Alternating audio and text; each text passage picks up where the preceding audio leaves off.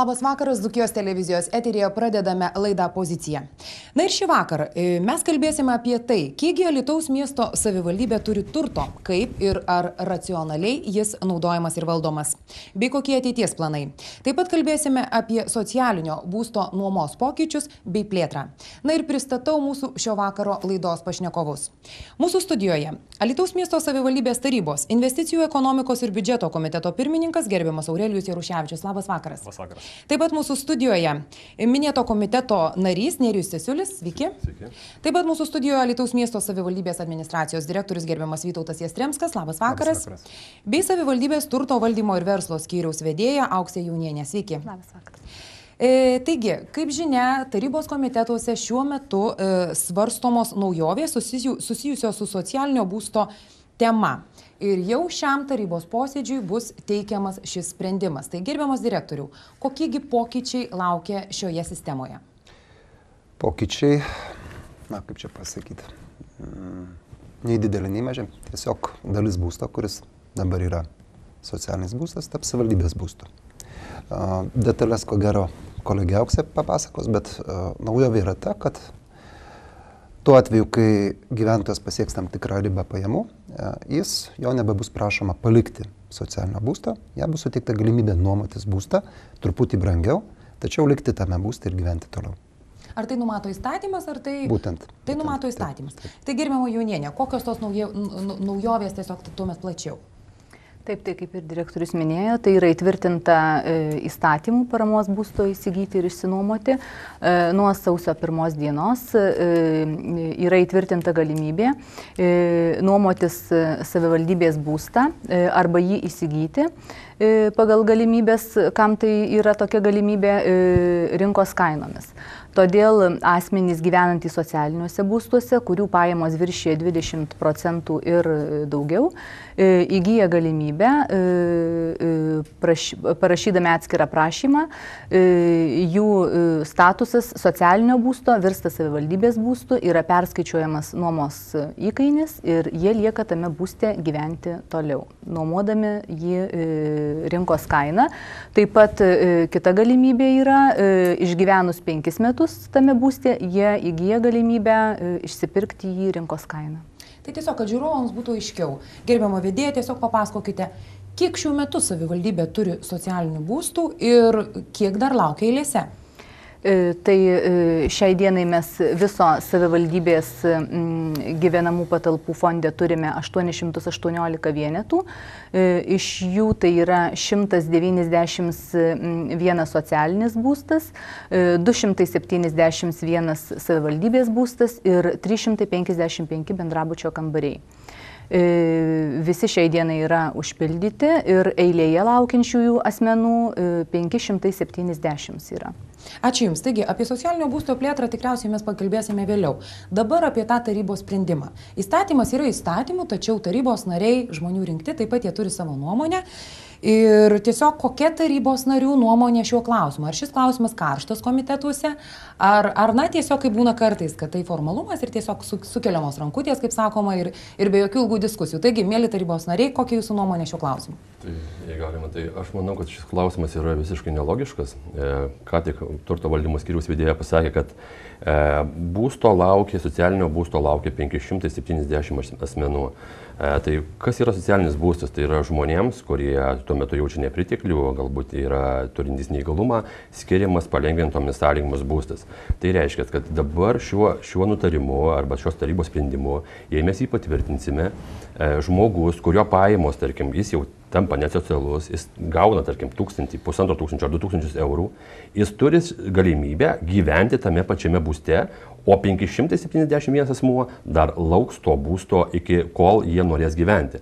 Tai kur yra logika? Pirmiausia, vienas dalykas - savivaldybės turtas turi tarnauti pirmiausia gyventojams užtikrinti ir tiems, kurie prašiausiai gyvena. O tik tada, jei mums jo lieka, mes jį galime nuomoti.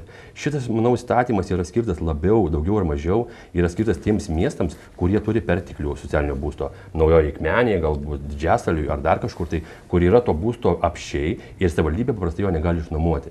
Tai kadangi mums to socialinio būsto trūksta, o mes tiem žmonėms, kurie pradėjo gauti didesnės pajamas ir gyvena socialiniam būste, jie turėtų logiškai atlaisvinti, nuomotis kažkur rinkoje, o mes turėtume įkelti socialinį būstą tuos žmonės, kurie jaučia nepriteklių, lygti turėtų būti logiškumas toks, o dabar mes darome atvirkščiai, tie, kurie pradėjo geriau gyventi ir mes juos leidžiame pasilikti, o tie, kurie prastai gyvena, jie ir kažkur gyvena. Tai dėl to mes ir turim tokią didelę migraciją Lietuvoje. Taip, komiteto pirmininkas, kokia jūsų nuomonė šiuo klausimu? Na, iš tikrųjų, gal ir teisinga būtų sakyti, kad tas klausimas būtų aktualesnis kitiem regionam, bet tada, kai valstybė prims tokius įstatymus ir bus aiškiai pasakyta, kad šitas įstatymas galioja naujai akmenė, o ne lytui, tada galėsime elgtis pagal tokius valstybės sprendimus. Šiai dienai iš tikrųjų, kad ir kaip e, skaudu būtų ir iš tikrųjų tai tikrai nesprendžia tos problemos, kurią minėjo Nerijus, socialinio būsto problemos. Na, bet įstatymų kaip ir laikytis turi, turime ir realiai alternatyvos, ko gero, nėra šiuo. Bet komiteto pirmininkė. Aš turiu pasakyti, alternatyva yra, mes galime priimti šitą sprendimą, tačiau jų nesivadovauti. Pirmiausiai, suteikti socialinį būstą tiems, kuriems to labiausiai reikia. O jei po to jei mums lieka jo, mes galim nuomoti. Bet kol kas matome, kad jo nelieka. Ir tas yra sprendimas, aš gal, gal, gal turtos valdymo skiriaus vedėja patikslins, yra daugiau mažiau rekomendacinio pobūdžio, kad mes galime tai daryti. Gerbiamas komiteto pirmininkė, tai jūsų manimų šis e, sprendimas, kurį siūloma priimti tarybai, jūsų manimų ir požymių, jis teisingas, reikalingas ar ne? Nes mes Alitoje turim Seimo narių, į kuriuos galima taip pat kreiptis ir, ir jeigu tai savivaldybei nenaudinga.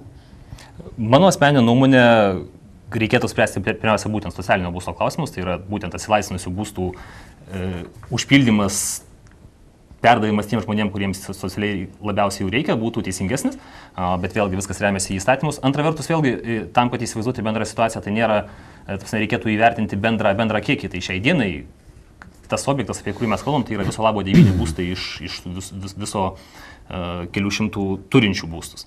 Tai nėra, tie devyni būstai tikrai neišspręs 500 laukiančių problemos, iš esmės. Tai toksai jos santykinai svoris šią dieną jis yra pakankamai nedidelis. Tai tik devyni, devynios šeimom, devynioms šeimoms padidėjo e, pajamos, taip? Padidės, taip. Padidės. Šiai, šiai dienai pagal tos kriterijus, kurios perlipa jau tą pajamų savo ribą, tai yra devynios šeimos. O jūs nesibaiminate, atsiprašau, da, ar jūs nesibaiminate, kad, sakykime, dabar kalbam apie devynias šeimas, bet aš ne pirmą kartą, sakykime, rengiu ir laidas, ir reportažus šią temą, ir kuomet atvyksti į socialinį būstą ir tave pasitinka moteris su permanentiniu makijažu, kurio kaina yra kokie 200 eurų, ir ne kiekviena moteris tai gali sauliaisti, tai, na, akivaizdu, kad yra kažkokie tai pinigėliai ir vokeliuose. Ar jūs nesibaiminat, kad priemė šį sprendimą, sakykime, na, legalizuosis tie vokeliai, na ir Lietuvoje neliks tų socialinių būstų, jie taps nuomojami. Čia tik teorija, bet, bet, bet pasvarstymai. Iš principo, vokelių legalizavimas tai yra geris. Tai jeigu tokiu būdu abejo. legalizuoti, tai galbūt irgi yra postumis į priekį, nes di, e, ištraukiant iš šešėlio pinigus didėja pajamų mokestis, taip pat surinkamas GPM, kuris duoda naudą miestui per, per biudžetą. Tai galbūt ištraukus visus iš šešėlio galėsime įsigyti už surinkamus pinigus daugiau socialinio būsto. Taip, prašom. Iš tikrųjų, kolegos gerbimi, nu, pamastykime logiškai. E, Dabar įstatymas tik tai šviežiai priimtas ir mes bandom įgyvendinti taryboje ir jau yra devynios šeimos. Tai tuoj atsiras 99 šeimos. Tai reiškia, mes jau jūs tada į tokį sprendimą priimsite, nelogišką, tai jūs iš karto pasakykite tiems gyventojams, kurie laukia socialinio būsto, kad jūs jos niekada nesulauksite. Ir jums belieka kaip vienas atvejis emigruoti arba ar išvažiuoti iš Alitaus. Tai šitas sprendimas nėra geras. Ir pirmiausia, užtikrinkime tuos būstus, kam iš tikrųjų reikia. Antras dalykas, aš manau, reikėtų susiskaičiuoti, ki- kiek mes mums to būsto yra ir kiek tą būstą naudojame pagal paskirtį. Nes tikrai važiuojant ir jūs sakote su permanentiniu makiažu, aš net neskiriu tų makiažų labai gerai, kaip, kaip ten kuris atrodo. Bet automobiliai, kurie stovi prie Galbūt, socialinio būsto, galbūt. sakykime. Iš tikrųjų ir tai, kad ne tik, kad vieną dieną tas stovi automobilis prie socialinio būsto, bet jis stovi mėnesį ir daugiau prie to socialinio būsto, tai reiškia, kad asmenys galbūt ten gyvena, galbūt jų pajamos yra kitokios. Tačiau mums reikia pažiūrėti dar vieną dalyką dėl to pučio socialinio būsto. Ar iš tikrųjų mums jo tiek reikės ir nežinau, gal direktorius atsakys, kokia yra strategija to socialinio būsto, nes kol kas man nėra aiški, nes N metų lyg tai buvo perkamas būstas, kas bus po 50 metų, ar mums tikrai jo to būsto reikės ir kas bus, kai mes turime dabar ten kelius šimtus tų būstų, kai mums Alitui susitrauks dar gyventojų. Kai susitrauks gyventojų iki, nežinau, jei trauksis iki 45, mums reikia pamodeliuoti, kad tai ne tik jų didės, bet jų ir mažės. Ir pažiūrėjus į mokyklas, aš būtent paėmiau iš kitos pusės pjūvį padariau. Mokyklose atsisakoma nemokamo maitinimo. Ką tai reiškia? Tai reiškia, kad žmonės pradeda gauti kažkokias pajamas ir reiškia, jie negauna nemokamo maitinimo ir 33 tūkstančiai, tarkim, eurų šiuo metu atsisakoma iki metų galo. Nereikės maitinti už tiek vaikų. Tai kaip pavyzdys, tarkim, katalikiška gimnazija, kur, e, kurią mes žinome, Lietuvoje yra, e, iš šimto vaikų, kurie gaudavo nemokamą maitinimą, dabar gauna tik 30. Ką tai reiškia? Gyvenimas gerėja.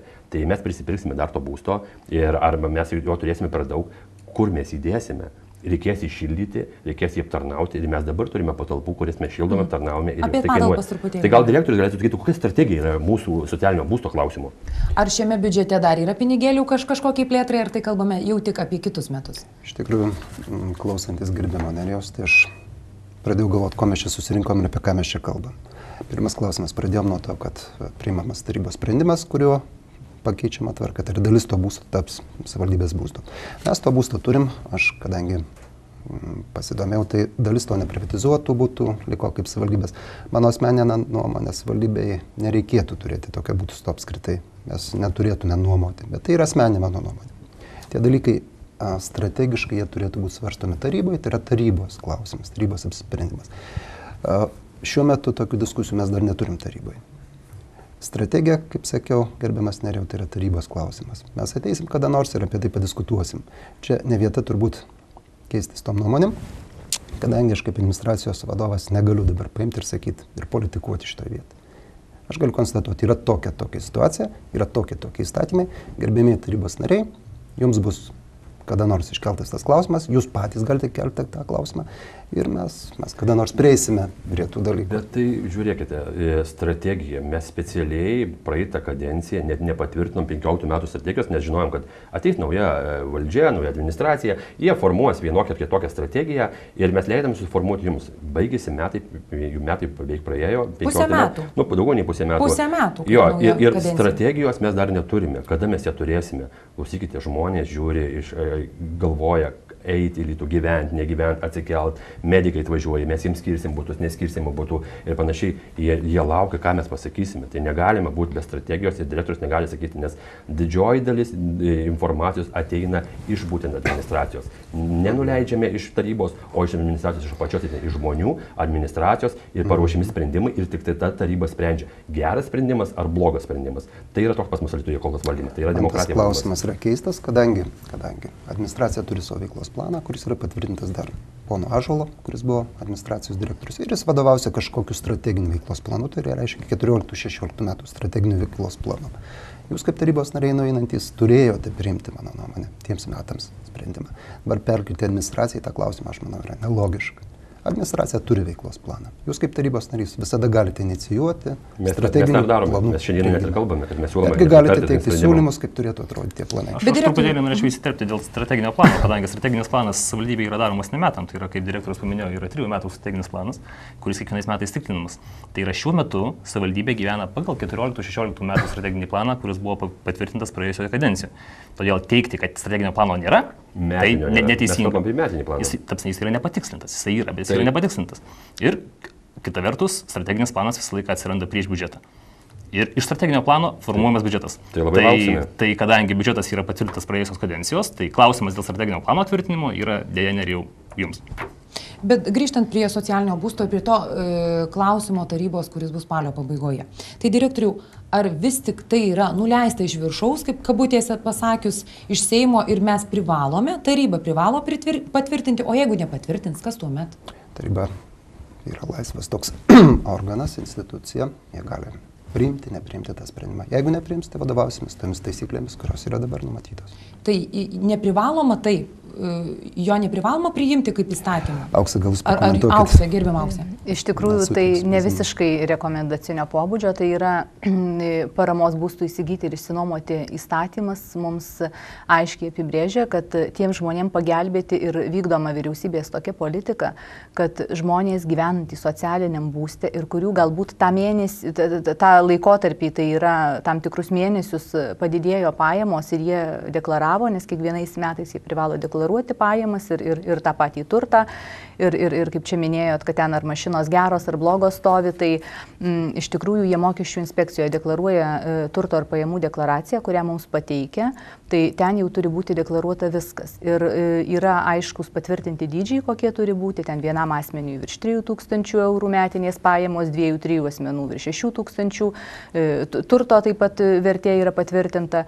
Ir jeigu tam tikrą laikotarpį jų pajamos didėja, tai e, nereiškia, kad jų tokios pajamos visą laiką ir išliks. Tai nu, vėlgi mes galbūt tada skatinam tuos pačius vokelius, kad žmonėms e, e, dirbti ir, ir gauti užmokestį nerodant tų pajamų ir gyventi tam socialiniam būste. O, o jeigu tam tikrą laikotarpį padidėja pajamos ir jie gauna galimybę su šeima likti po stogu, o po tam tikro laikotarpio vėl sumažės, jie vėl deklaruoja ir tas būstas vėl virsta socialiniu. Tai yra tvirtinamas savivaldybės būsto būsto fondas, į kurį įeina savivaldybės būstai, socialiniai ir bendrabučiai. Ir jie, e, mes dabar vieną kartą metuose patvirtiname su nuomos kainomis, o paskui e, surinkus tam tikrą skaičių e, prašymų, na, nemažiau taip nusprendėm penkių, einame vėl į tarybą, tarybai pateikėme, kad žmogaus tą laikotarpį pajamos yra truputėlį didesnės, jam bus skaičiuojamas nuomos mokestis, kuris ateis į biudžetą didesnis, o vėliau po tam tikro laiko tarp, jeigu vėl jos sumažės, tai prašom. Bet pažiūrėkime į sprendimo nelogiškumą. Jei žmogus, mes sakome, išnuomosime jam, jei jo pakils pajamos, tą socialinį būstą rinkos sąlygomis. Tai kam tam žmogui eiti tvarkytis dokumentus, deklaruoti, nešti, kad duotų tau metams leidimą įsinuomoti rinkos sąlygomis. Tu gali rinkos sąlygomis atsivertus Olio rytų laikraštį. Įsi... Nereklamuokite čia, prašau. Nu, atsiprašau, įsinuomoti, įsinuomoti būstą ir tau nereikės teikti, rašyti sprendimų, metai pakeis, išmes tave, neišmes ir panašiai. Tu įsinuomai rinkos sąlygomis ir viskas. Mhm. Prašom, gerbiamas. Taip, iš tikrųjų, tie žmonės tą padaryti tikrai labai teisingai sako, gerbiamas tarybos narys, jie tą gali padaryti ir, ir mes dažnai ir klausime, jūs iš tikrųjų einate, nešate dokumentus, pykstate, kad e, ilgo ilgos eilės, bet e, pasakai kurių žmonių, tai e, rinka yra tokia šiai dienai, kad vieno kambario būto, pati nesidomėjau, bet kiek vat, iš, iš piliečių besidominčių, kad nėra galimybės alytuje laisvai išsinuomoti. O kaip dviejų, trijų kambarių, aišku, ne, ne, nežinau, bet e, tas rinkos kaina tai yra paskaičiuota pagal vėlgi mums diktuoja, pasikartosiu, visą politiką vyriausybė, o savivalda yra tik vykdytojas tos politikos. Ir nuomos kaina taip pat paskaičiuota pagal patvirtinimą patvirtintą įkainį, kuris buvo pateiktas tarybai ir kiekvienai patalpai buvo suskaičiuota atskira nuomos kaina. Taip, labai trumpai dar gerbim auksę, jūs arčiausiai tų žmonių, sakykime, kurie ateina. Jeigu yra apie 500, 570, ne, laukiančių socialinio būsto, ar tai labai didelė problema, ar tie žmonės turi kur gyventi, ar tai yra karšta, ar, ar tai, kiek tai didelė problema, būtent kalbant apie to socialinio būsto plėtrą problema iš tikrųjų yra labai opi ir labai didelė ir, ir iš tikrųjų mes asmeniškai išgyvenam su kai kuriais žmonėmis, kurie ateina ir, ir, ir neretas ir ašarą nubraukia ir mano kabinete, ir, ir, ir pas vadovus į prieimimą eina, bet yra kaip yra, iš tikrųjų tas poreikis yra tikrai didesnis negu mūsų galimybės, todėl vėl ta pati vyriausybė dabar yra numačiusi, taip kaip pernai buvo skirta į valstybės biudžetą 311 tūkstančių įsigyti e, papildyti tą savivaldybės būsto fondą, tai šįmet yra numatytos jau europinės lėšos 757 tūkstančiai eurų ir mes privalėsim iki 2020 juos įsisavinti, pridedant 15 procentų savo ir šiuo metu yra rengiamas investicinis projektas ir tikrai bus papildytas tas būsto o jis fondas. Statys, ar jį įsigys? Mm, šiai dienai buvo pateikti trys alternatyvūs variantai ir toks, koks Alitaus miestui yra tinkamas ir pagal galimybės galimas, tai yra e, modulinių namų statyba. Tai e, bus statomas tas, vadinkim, taip, modulinis namas ir jame įrengiama nuo 20 iki 30 būstų pagal tą sumą, kuri yra skirta Lytaus miestui. Aš Prašom, dėl, dėl tos problemos opumo, e, prieš gerbiamą kolegę dirbo dar kita vedėja, tai iš tikrųjų būdavo komitetuose kalbama, kad mes nuperkama būstų ir siūlome gyventojams juos juos imti ir naudotis, tai jiems netinka aukštas, tai jiems netinka plotas, tai jiems negražiai sienos išdažytos, tai jiems dar kažkas, tai e, netinka mikrorajonas ir panašiai. Tai ta problema, aš nežinau, kiek iš tikrųjų iš 570, kai mes tą eilę peržiūrėjom, kai mes tą eilę klausėm, keičiasi, nes aš žinau, yra asmenų, kurie jau išvažiavę į užsienį, nors dar yra tam sąraše, man teko domėtis dabar renginti šiai temai, kad į kurie yra išvažiavę užsienį, jau dirba seniausiai 4-3 metai ir, ir jiems neįsiūloma buvo buvo, bet jie yra dar sąraše, tai kai kada tie skaičiai su realybė gali šiek tiek kisti, aš manau, ar nesusitikite? Iš tikrųjų, taip, jie gali būti užsienyje, nieks jiems e, to ne, nevaržo, jeigu jie deklaruoja pajamas. Šiai dienai turime susižiūrėję, kad virš šimto asmenų nėra deklaravę. Ir jeigu sausio pirmai dienai jie nebus deklaravę pajamų ir turto deklaracijos, tuomet mes brauksime juos iš eilės vėl pagal tą patį paramos būstų įsigyti įstatymą. Ir tuomet eilė ir sumažės. Bet kiekvieną savaitę darbuotojai darbuotoja atsakinga už socialinius būstus priima viename langelėje piliečius ir nebūna savaitės, kuomet neteina įsirašyti naujai. Ačiū Jums. E, taigi, pusiau jaukais direktorių jūsų paklausiu, ar turtinga Dzukijos sostinė? Kiekgi Dzukijos sostinė e, savivaldybė pati turi turto, tai yra pastatų, žemės ir taip toliau. Na, tikrai manau, kad visiems žiūrovams yra įdomu. Ko gero turtingiausia? Alituje. Jeigu objektais, tai 1600 kažkur yra objektų, o jeigu buhalterinė vertė rūpiučio 31 dienai, tai apie 100 milijonų eurų. Tai pastatai, žemės klypai, infrastruktūros įrenginiai, skulptūros netgi yra nekilnojamas turtas, kaip nekilnojamas turtas apskaitoma. Taip, kad yra, yra turtas turtingiausia Lietuvoje, sakot. Taip. E, taip, ir kalbant, e, sakykime, apie to turto e, panaudojimo efektyvumą. Taip, tikriausiai ir, ir tarybos nariai turi savo nuomonę. Jūsų vis, vis tik pirmiausia, kaip administracijos vadovo paklausiu. Mhm. Jūs dirbate berots penki mėnesiai, jeigu ne. Keturi su trupučiu. Keturi su trupučiu. Tai tiesiog jūs pats vis tiek inventorizavote situaciją, ją ir anksčiau žinojote, nes esate dirbę su gerbiamu džiautu, jo pavaduotoju. Taip. Tai tiesiog jūsų manimų, kaip direktorius, efektyviai naudojamas, nuomojamas mūsų turtas, ar vis tik dar turim kažkur pasispausti? Kaip visada, aš manau, kad turim kur pasispausti. Dabar, ar efektyviai, tai klausimas vėl, negaliu pasakyti filosofinis, bet tai yra vertinimo klausimas. Kad įvertinti, tai turim turėti kažkokius rodiklius. Dabar, kas pasakys, kokie tie rodikliai turi būti, tik taryba mums gali pasakyti šiuo atveju, arba miesto gyventojai. Mano asmeninė nuomonė, turtą galima naudoti efektyviau, ypač turtą, kuris yra naudojamas, pavyzdžiui, mokyklų, švietimo įstaigų reikmėms. Nes jeigu pažiūrėsim, aš sakau apie tai, ką analizavau, ką žiūrėjau. Nuo 2007 metų paėmėm vaikų skaičių, kurie mokosi, pamatėm, kad sumažėjo 30 procentų, tačiau pastatų naudojama tiek pat. Tai va šitoje vietoje aš matyčiau rezervus, kad dalis patalpų galėtų būti naudojama ar atiduodama pagal panaudos sutartis naudotojams arba išnuomojama, pavyzdžiui. Šiaip apskritai aš keliu tokį klausimą ir tiek su gerbiamu meru, tiek su tarybos narys kalbėsiu. Ir jau pradėjau kalbėtis, kad galbūt būtų galima eksperimento būdu, pavyzdžiui, tam tikroje srityje turtą atskirti nuo veiklos. Taip kaip elgesi įmonės. Jos veiklą vykdo ir orientuojasi, koncentruojasi būtent į savo veiklos vykdymą ir tuos rodiklius siekia, kad būtų įgyvendinti tie, kurie nustatomi jiems efektyvumo, o turtas yra valdomas atskirai. Yra turto valdytojas, kuris žiūri, kad tas turtas būtų mm, tinkamai naudojamas, kad būtų išlaidos optimalios išlaikymui skiriamos ir kad tas turtas nestovėtų, tarkim, jeigu taip galima pasakyti, nenaudojamas. Ar jūs direktoriui kalbate apie operatorius?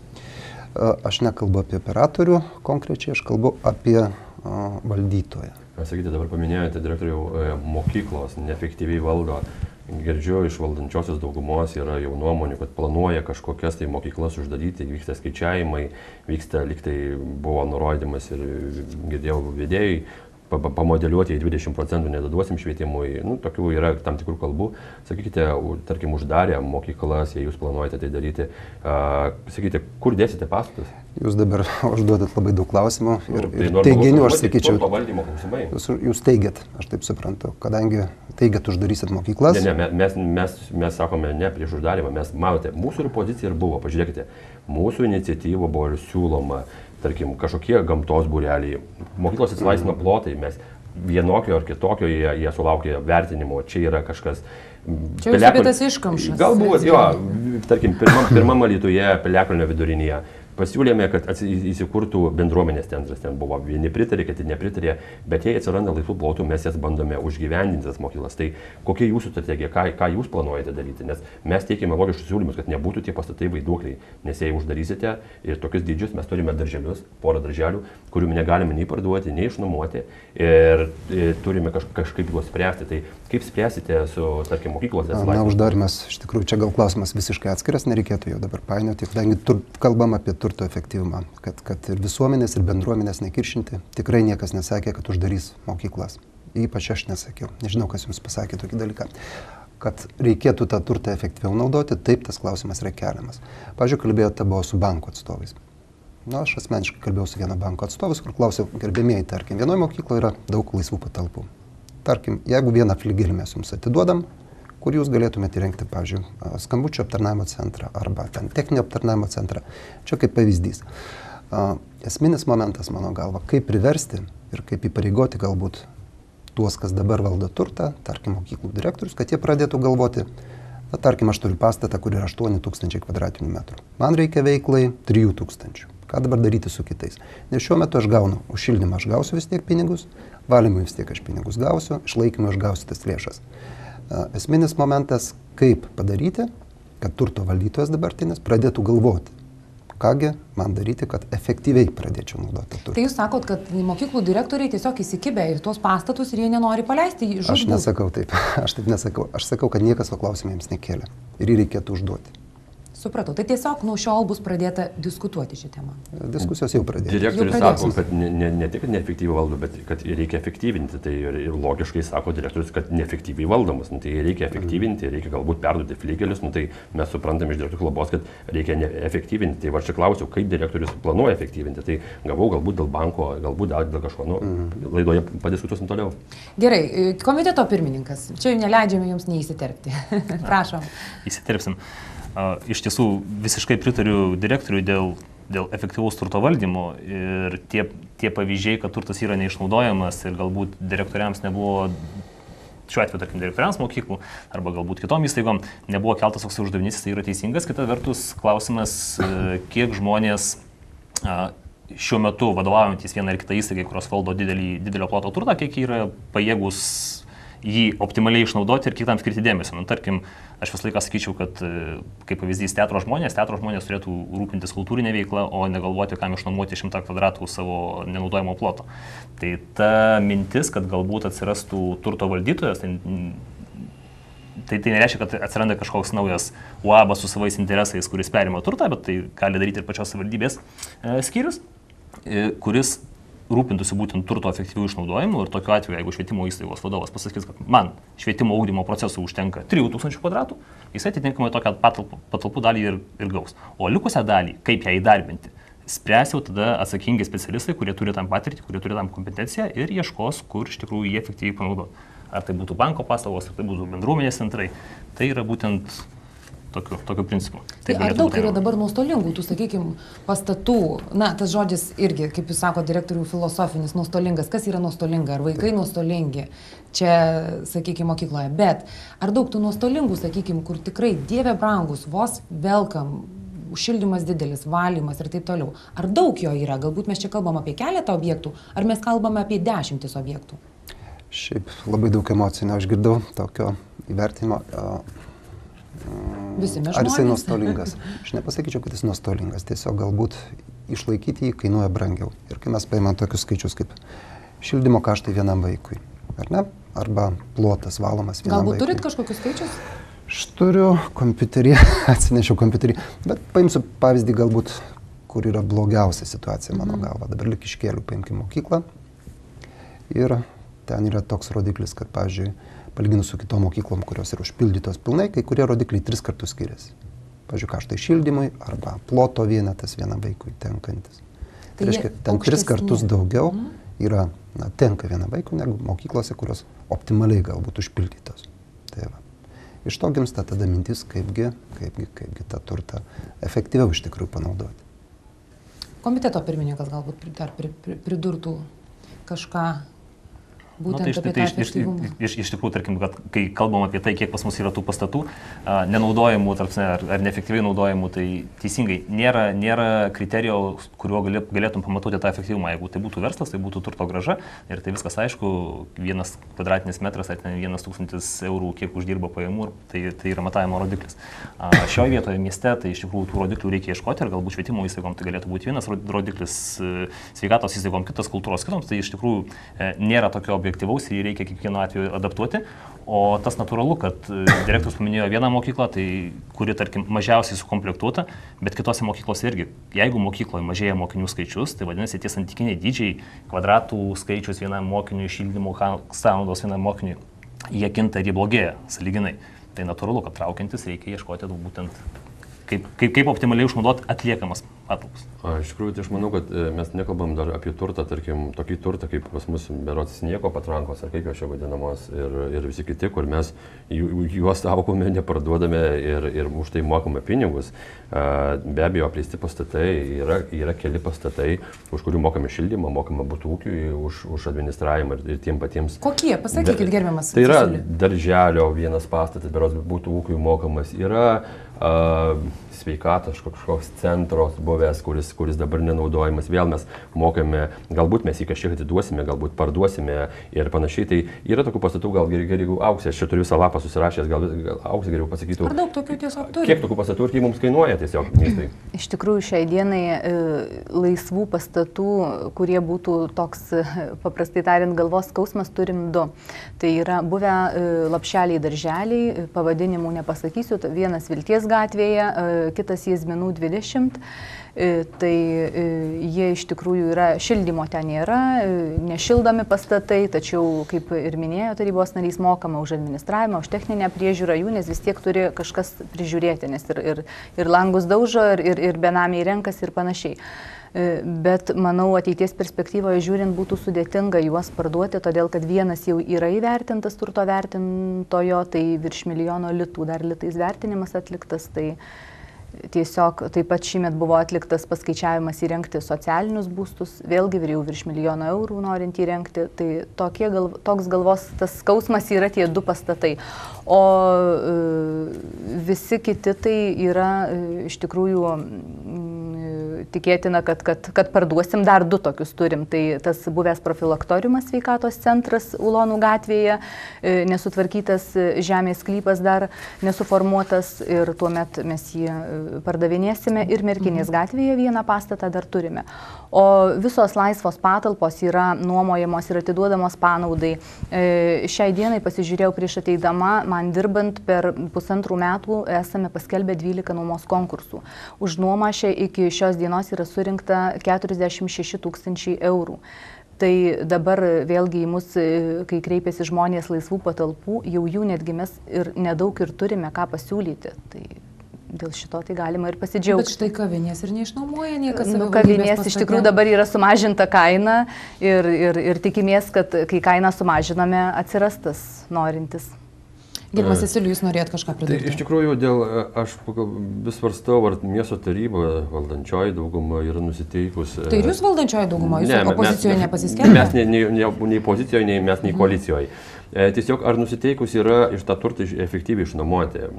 Mano pasiūlymas buvo paskutiniam tarybos posėdėje ligoninės patalpas, kurias mes nuomavome, išnuomoti būdinčiai vaistinį. Ir tai nereikėjo kažko, kažko labai daryti, įrašyti būdinti vaistinę, kuri dirbtų 24 valandas per parą ir galbūt bandyti ieškoti nuomininkų. Gal tam pačiam savivaldybės pastate galėjo būti ta būdinti vaistinė, ne prekyba alkoholiu ar maitinimas, o galbūt iš kitos pusės įėjimas. Aš čia kaip alternatyva sakau, čia, čia nebūtent ten. Bet mes, jei norime išnuomotis patalpas, tai mes įdėkime, pažiūrėkime, ko iš tikrųjų miestui reikia ir tik tada bandykime gauti gražą, nes ne visą laiką savivaldybės pastatai tu turi, turi daryti biznį. Kai kada jie turi tarnauti miestiečiams. Tai mano toks yra požiūris. Dėl būdinčios vaistinės, direktorius. Tas klausimas nagrinėjimas toliau, kadangi jūs kreipėtės, tas buvo klausimas protokoliškai administracijai pareigota. Įvairūs pamastymai šiuo metu yra. Tarkim, susisiekėm su Šiaulių mieste, vienintelė būdinčia vaistinė, jos savininkų. Pasiklausėm, kaip jiems sekasi tas verslas. Atsakymas buvo toks, kad rugsėjo mėnesį 15 dienų buvo nulinė apyvarta, 15 naktų. Jisai skaičiuoja nuo 12 val. nakties iki ryto. A, kitom dienom vėlgi jis pardavė įvairiai labai, bet, bet sakė, kad išlaikyti šiauliuose a, tos vaistinės neapsimoka, jis datuoja tą veiklą. E, Tai... Kodėl neuždaro, aš jeigu galima užbaigsiu. Neuždaro todėl, kad iš įpročio dar. iš įpročio, kadangi jis anksčiau nuo seno buvo tokia vaistinė ir jis prekiavo. Atvažiuoja iš kitų miestų, iš Anikščių net atvažiuoja nusipirkti. Dabar klausimas, ką perka irgi uždavėm. Perka dažniausiai nuo skausmo vaistus. Dažniausiai. Nuperka pampersų dar naktį, da, pritrūksta, pavyzdžiui, vaikams dar kažko. Bet iš esmės, kalbant apie vaistus, receptinių neparduoda naktį, parduoda nereceptinius vaistus. Tada buvo užduotas klausimas dar vienas, tarkim, man yra tekę Lenkijoje padirbėti truputį ten tokius vaistus nereceptinius, kaip skausminamosius, analgetikus ir panašius, galima nusipirkti kiekvienoje degalinėje, kiekvienoje parduotuvėje. Uždaviau klausimą, ar nebuvo svarstomas Lietuvoje toks dalykas. Sakė, kad tai buvo svarstyta, bet vaistininkai sukilo ir nenorėjo, kad būtų leista. Tačiau prekybos centrai, kur, kai kurie jau prekiauja šitais vaistais, kažkokiu būdu, tai yra papildais vadinamais. Tai va čia tokie dalykai. Uh, Taip, kad atsakyti dar iki galo aš negalėčiau gerbiamam tarybos nariui tą klausimą, kurgi tą vaistinę daryti ir, ir, ir, ir kada ją reikėtų daryti ir kas ją darytų galų gale. Ar tai savivaldybė turėtų daryti, ar, ar savivaldybės įstaiga? Labai paprastas sprendimas yra. Mūsų, tarkim, vaistinė, kurie įsikūrusi ligoniniai, už nuomą per mėnesį moka 1600 eurų. Tai yra pakankamai dideli pinigai. Tai mes galim padaryti tai vaistiniai nuolaidą 1000 eurų ir jis sumokės tam darbuotojui atlyginimą už naktį ir, ir vienaip ir kitaip ta vaistinė dirbs. Ir čia nereikia ieškoti kažkokių dviračių ir panašiai. Tai yra tik nuomos sąlygų keitimas. Klausimas, gerbiamas tarybos, o jūs kalbėjot su savininku apie tai? E, tai aš negaliu, negaliu kalbėti, nes aš nesu Kodėl jūs negalite kalbėti? Tai yra, aš kreipiausi į juos, kad jūs kalbėtumėte, jūs turite visas teisės, nes jūs sudarote sutartis, jūs galite diskutuoti su jais. Tai aš, aš tik kreipiausi, išreiškiau žmonių norą, nes žmonės išreiškia, kad reikia tokios vaistinės. Tai aš kaip tarybos narys parašiau jums raštą, o jau leidau jums spręsti. Labai gera mintis, mes tikrai perduosim jūsų nuomonę savininkui, susisieksim ir paklausim. Ar Ir aš labai atsiprašau, jeigu galima, laukiu, kol pabaigs, nes mes jau tą klausimą, kadangi užduotis yra nukreipta mano skyriui, mes kreipėmės į ligoninės direktorių ir kaip tik šiandien vyksta susitikimas tarp ligoninės direktoriaus ir vaistinės ligoninėje esančios vadovų kurio metu bus pasiūloma tokia galimybė ir jau jų, aišku, apsisprendimo reikalas. Mes įpareigoti negalime privataus asmens, sutartis buvo pasirašyta dar apskrities viršininko administracijos ir vaistinės, tai jeigu jie sutiktų, tuomet galima pildyti esamą sutartį, kuri galioja berots iki 2018 metų vėl, vėlgi. Tai šiandien kažkas galimai spręsis. Taip. taip, ir mūsų laikas baigėsi. Dar vienas klausimas, tai yra taip pat apie savivaldybės turtą, bet sakykime, šiuo atveju paimsim pavyzdį Lietuvos sporto rekreacijos centras, tai yra sporto rūmai, ir pasigirdo kalbos, kad tarsi kažkas savivaldybėje ruošia sprendimus, kad, sakykime, tokie klubai kaip Alemana, kaip Margeris, na, jiems nebus suteikiamos patalpos pagal panaudą, o jiems teks mokėti nuomą. Tai kiek tos apkalbos yra teisingos, ar, ar tikrai taip yra, nežinau, kad mes šiandien į redakciją po laidos anonso sulaukėm ir įvairių pasipiktinusių žmonių skambučių, kad, kad, kad na, dabartinė situacija yra gera, tai direktorių, ar, ar tai yra tiesa? Aš asmeniškai nesu girdėjęs tokios informacijos. Kaip jūs sakėte, yra apkalbos, bet at, išgirdau dabar, ačiū, kad pasakėt.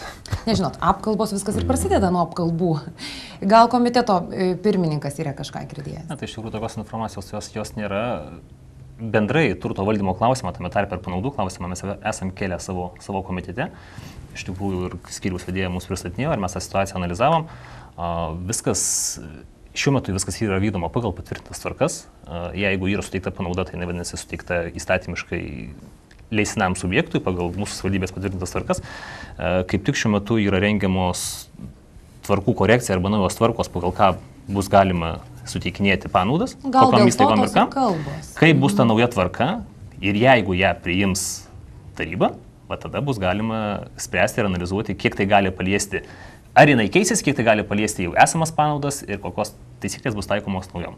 Gerbiamas Asiu. Iš tikrųjų, komiteto pirmininkas taip labai gražiai bando viską užglaistyti. Iš tikrųjų, taip nėra. Komitete buvo diskutuojama ir ką, kaip daryti, jei, tarkim, paėmus iš sporto klubo Margeris, Alemaną ar iš kitų sporto klubo patalpas, jas išnuomavus ir iš to gauti didesnį pinigus, nes kažkur kažkam galbūt yra poreikis, yra noras ir ne, tik, ne tik čia kalbam apie tas patalpas. Tačiau pažiūrėkime vienas vieną dalyką. Mes, tarkim, sporto klubas Margeris veikia 29 metus. E, jie susitvarkė patalpas, jie investavo ir visą kitą. Mes net negalime, tai kaip tarybos nariai, tokių kalbų leisti, nes niekas nenorės ateiti į Alytų, niekas nenorės imti panaudą. Alemano sporto klubas. Pažiūrėkite, kitą savaitę išvažiuoju į pasaulio čempionatą du žmonės. Tai mes ne tik, kad turėtume duoti panaudą tiems klubams, dabar va šiam komiteto posėdį mes duosime krepšiniui, tinkliniui, futbolui už tai, kad jie garsina miestą tai mes turėtume ne tik duoti panaudą, bet dar turėtume remti tuos klubus, e, kad jie garsina mūsų Lietuvos miestą, užima žmonės, keli šimtai žmonių, e, keli šimtai vaikų, sportininkų, štango štumimo čempionatai, varžybos ir panašiai. Tai matote, mes net negalime kalbėti ir dabar mes likti už viručių, jei tu nesi kažkurios partijos narys, ar nesi koalicijos narys, ar dar kažkoks, galbūt arba tu mane užgavai ar neužgavai, tai galbūt tai iš tavęs galima atimti patalpas ar netimti. Nu, iš tikrųjų taip negalim kalbėti, kas yra duotos patalpos. Mes turime užbraukti brūkšnį, mes apie naujas patalpas, galime daryti tvarkas. Kodėl inicijuota buvo ir neduosime meluoti ir vidėja, kad buvo reikia ruošti naują tvarką, naują turto valdymo tvarką, kaip mes valdysim, kaip mes suteiksim panaudą. Tas buvo komitete ir tai yra įrašai. Tai Kolegos, mes vieną kartą pasakykime tiem žmonėms, kad ką mes davėme, mes prie jūsų nelindame, o kuriems duosime, galbūt nustatysime naują tvarką ir tik tada kalbėsime apie naują, naują tvarką. Nes tie klubai, ne, aš kalbu čia du, yra veterana, vet, e, veteranų. veteranų draugijos, yra neįgaliųjų sporto kažkokie klubai ir panašiai, kur mes davėm panaudas. Mums tai yra miestas, reprezentuoja, to yra poreikis ir mes turime tų patalpų. Kai mums neturėsime tų patalpų ir mums gyvybiškai reikės jų, tada mes galvokime, kaip kur mums gauti, ar į darželius, ar į mokyklas, ar į miesto savivaldybės patalpas kelti kažkokias mhm. įstaigas. Gerbiam vedėją. E, tai panaudos suteikimo tvarka, e, kuri bus pristatoma artėjančiam tarybos posėdėje, e, yra parengta remiantis vėlgi aukštesniais teisės aktais. Kadangi keitėsi turto disponavimo įstatymo atitinkamas punktas, keitėsi vyriausybės nutarimas reglamentuojantis panaudos suteikimo tvarką, tai mes vadovaujantis tuo privalome netgi pasitvirtinti savo tvarką taryboje, pagal kurią bus suteikiama panauda. Tai vėlgi ten ten yra truputėlį praplėsta, kad gali ir profsąjungos gauti, labdaros paramos fondai gali gauti. Ir toliau išlieka tas visuomeninės naudos principas, kad būtų visuomeniai nauda, kad, kad ne tik, kad komercija būtų daroma, taip, jeigu paprastai sakant, iš, iš savivaldybės. Tai gal kaip tik prasiplečia ta. Iš tikrųjų, spektras. jeigu uh, į asociacijas orientuojantis, tai taip, spektras, kaip jūs įvardėjote, prasiplečia. Ir e, manau, kad mes iš tikrųjų stengiamės ir, ir, ir, ir mes kaip po turto skirių specialistai ir, ir tarybai, kai pateikėme tą optimaliausią variantą parinkti, kad, kad tiktų ir tam tikros patalpos, tam tikrai veiklai. Ir dar iki šiol man dirbant nebuvo, kad kažkam nesuteiktų. Ar pakankamai taryba yra išdiskutavusi šį klausimą? Komiteto pirmininkė? Šio klausimo konkrečiai, kadangi dar sprendimo projektas nėra parengtas, tai jo dar nebuvo diskutuota būtent dėl panaudų pakeitimo. Bet jūs spalio pabaigoje įtvirtinsite? priklausomai nuo to, kada jisai pateks į darbo atvarkę komiteto, paskui tarybos posėdžio. Tik tai aš truputėlį po panos nerijų iš, iš tiesų pradėjau kalbėti ir aš kalbu būtent apie tai, kad turi būti parengtos bendros tvarkos ir pagal tai priimami sprendimai, kas turi teisę į panaudą ar ne. Tai jokių būdų nelendant į asmeniškumus ar į kon konkrečių organizacijų vertinimą ar pasakymą, kad tu dabar man nesi gražus, tai tu gausi panaudą, o tu negražus, negausi panaudos. Sporto klubas gerai, jeigu jam priklauso tai ir jisai gali gauti, jisai ją ir turės. Šalia vieno sporto klubo galbūt yra dar keli sporto klubai, kurie irgi norėtų. Tai jeigu jie atitiks tos reikalavimus ir bus tinkamos patalpos, tai remiantis tuo bendru tvarkos aprašu, jie galės jas pretenduoti. Nes gal kiti moka, nuomos mokestį, kiti nemoka. Ir čia taip pat prasideda. Savivaldybė net, net neturėtų proteguoti ir, ir, ir veltis į konkurenciją ar tokiu būdu bandyti sureguliuoti rinką. Tai iš tikrųjų, jeigu tai yra galima, tai tai yra galima visiems to profilio. Mūsų laikas padėti. praktiškai baigėsi. Paskutinis klausimas. Tai yra, sakykime, vėlgi savivaldybė netrukus turės dar vieną objektą, dar vieną turtą, tai yra baigtą Dailydžių ežerėlių projektą. Taip, direktoriau. Aš prisimenu, kokios buvo batalijos taryboje, kuomet kalbėjom, kasgi saugos, ar sargai, ar, ar saugos tarnybos, galbūt jau yra kažkas aišku, tai kasgi saugos. Dėl tų batalijų kažkaip mes įsivėlėm į tokias batalijas, kurių visai neturėtų būti, aš kartais galvoju. Bet jos, na, buvo. Kas saugos, faktai. kas saugos, ką ten reikia saugoti. Na, Asfaltą, kuris nutiestas, ar tą namelį, kuris yra, ir, ir keletą įrengimų. Iš tikrųjų tai yra draudimas, nes kiekvienas europinis projektas, kai jis yra baigiamas, turtas yra apdraudžiamas penkeriems metams. Tai klausimas, ar užtenka tos apsaugos, ar reikia papildomai dar saugoti. Ir pažiūrėsim tada. Gerbiamas direktoriau, iš tikrųjų, jūs galbūt dirbate savivaldybėje, nepasivaikščiot po miestą, tai man čia truputį gaila. Pažiūrėkite, nuvykite prie dėlidės. Jau išvokti įrengimai yra. E, supinių nėra, nulupta, išlaužyta, sukurti laužai ir apgadintas turtas. Ar jūs manote, kad tai nereikia saugoti? Gerbiamas Aš nekalbu, a, kad, kad, kad aš labai dažnai žmogus išeinu į vaikščioti, miestą. Bet tai turėtų, aš manau, e, kamerų pagalba, nau, technikos naujovėm, mes taip turėtum saugoti ir užtikrinti tą saugumą. Galbūt kalbėti su policija, prasiųsti ten kelis ekipažus, bet jūs dabar nuvažiuokite, pasižiūrėkite ir tada mes galėsim toliau diskutuoti Visiškai savo. nesutinku su jūsų gerbiamas tari nuomonė, kadangi aš labai dažnai išeinu į miestą kiekvieną savaitgalį ir dviračiu važiuoju. Jeigu kalbėsime apie dailidę, tai ten niekas nenulupo tų supinių, paprasčiausiai jos ten nesumontuotos, kadangi jos Bet trukdytų, kurios- kurios jos trukdytų žmonėms vaikščiantiems taku. Projektas toks padarytas keistas, kad, kad negalima sumontuoti, nes tiesiog tave numušė, jeigu tu esi tą keliu. Kitas dalykas, kad laužai kūrenami. Taip, tam yra laužavietės su padarytos prie tų pavėsinių ir ten yra kūrenama, tai yra natūralu. Gerbiamas direktorių, mieste, miesto teritorijai, žinote, pasiskaitykite įstatymą, negalima Lietuvoje kuriant laužų. Pasižiūrėkite, nes tai yra tvarka patvirtinta. Toks Na, projektas. Čia diskusija iš tikrųjų įdomi, tikėkime, kad ir žiūrovams buvo įdomu, tačiau mūsų laikas visiškai išseko. Aš dėkoju mūsų laidos pašnekoms, tikėkime, kad žiūrovams atsakėme į daugelį klausimų, tačiau mūsų laikas dėja jų išseko. Su žiūrovais atsisveikiname, na, o tie, kurie nesuspėjote pamatyti laidos, jos įrašą galite rasti naujienų portale dzukė info.lt. Su žiūrovais atsisveikiname, viso geriausio.